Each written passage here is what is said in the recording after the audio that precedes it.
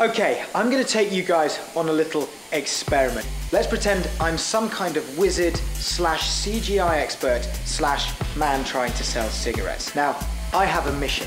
I gotta sell a shed load of six. Uh, my huge yacht in Marbella, uh, staffed by supermodels, depends on it. But I've got a problem. I'm not allowed to advertise. The only space that I've got is the box itself. Oh, there it is, all white and shiny and nice. Let's say I want to sell them to ladies. I'm going to sell my cigarettes to the ladies. Uh, so I need to make it appeal to them.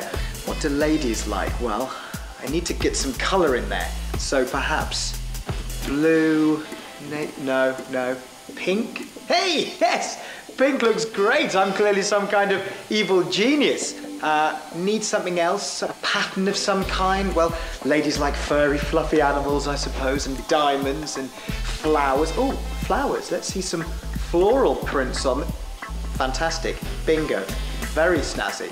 Okay, we need a name now. Um, perhaps, I mean, fashion magazines have good names and girls like them, so perhaps some kind of fashion magazine.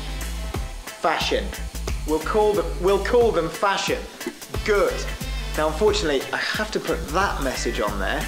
Yes, it, it may be true, but give me a break, I'm trying to sell fags here. Yeah, that's put a real downer on it. We need to jazz it up in one final... Maybe the cigarettes themselves, what could we... Huh? Make them thinner? Good idea. We'll make them thinner. And perhaps throw in a little pastel colour as well, like some kind of crayon that you can smoke. Bingo. They look delicious. So there we have it. My special pretty skinny cigarettes for special pretty young ladies. Now the tobacco industry isn't actually allowed to aim its products at young people. But you guys wouldn't be taken in by fancy looking cigarettes now, would you? Make your own film and share it at www.cutfilms.org.